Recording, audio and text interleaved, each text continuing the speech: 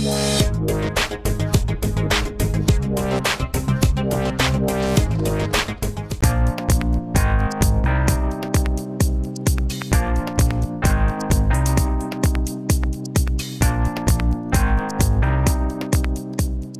Así, en medio de computadores y máquinas, pasan gran parte del día los docentes y profesionales de arquitectura, diseño e ingeniería que hacen parte del Laboratorio de Fabricación Digital y Diseño Paramétrico de la institución universitaria Colegio Mayor. En este espacio se da rienda suelta a la innovación que parte de ideas que se convierten en bocetos a mano, a los que se incorporan elementos de dibujo digital que luego pasan a un diseño tridimensional o diseño 2D, donde la pieza adquiere ciertos parámetros y medidas más exactas que permiten agregar elementos de realidad virtual y realidad aumentada, fase en la que es posible observarlo y darle una nueva forma de representarlo en tercera dimensión. Esta etapa posibilita pasar esa creación a una máquina de fabricación digital que puede ser la impresora 3D o de corte láser. Explican los expertos que la realidad virtual nos cambia nuestro entorno al ser diseñada desde lo digital por una computadora donde nuestras sensaciones varían desde el aspecto visual y sensorial al poder percibir otro mundo por medio de sonidos u otros elementos como vibraciones generadas a partir de dispositivos. Estamos hablando entonces de que podemos fabricar las piezas para nuevos objetos o replicar objetos de manera constante.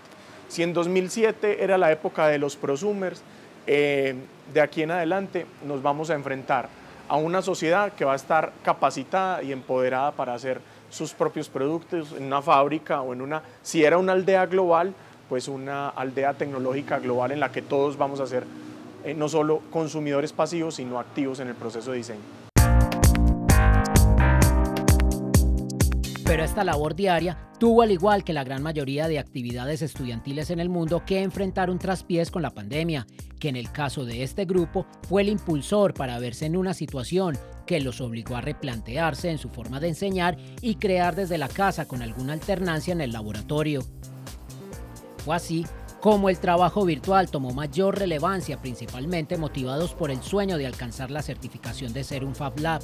Esto significa que en este laboratorio existen unas máquinas con capacidad de fabricar otras máquinas, es decir, unos ordenadores interconectados que permiten el desarrollo de otros objetos a partir de esos equipos.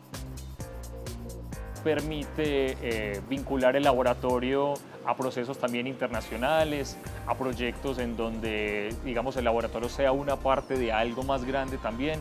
Entonces, eh, es pertenecer a una comunidad en donde todos están haciendo lo mismo y todos están innovando con esta tecnología.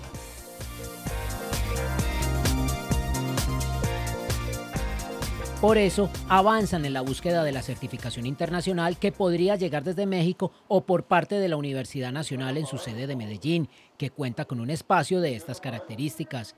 El proyecto FabLab Colmayor va tras un reconocimiento global que les posibilite trabajar en red tras 10 años de actividad en este campo digital y de diseño paramétrico.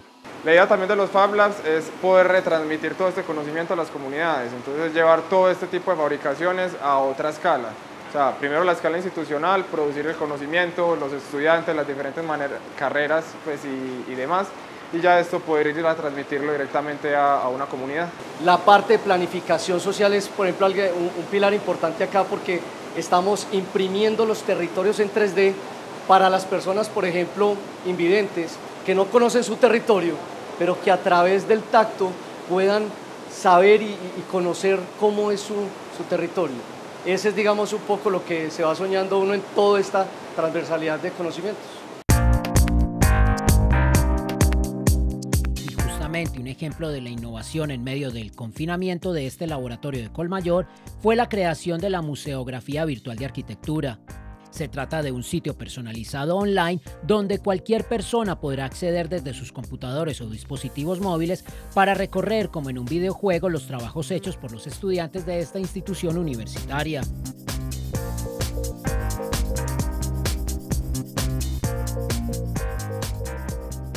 Porque lo que normalmente pasaba es que uno mostraba la muestra de arquitectura y eso se perdía. O sea, toda esa información o ese bagaje completo se desaparecía cuando se acababa la muestra. Lo que nosotros queremos es conservar eso en un repositorio virtual que cualquier persona pueda acceder en cualquier momento.